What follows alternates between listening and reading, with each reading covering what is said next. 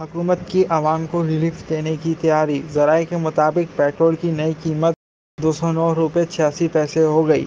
इतलाक़ रात बारह बजे से होगा।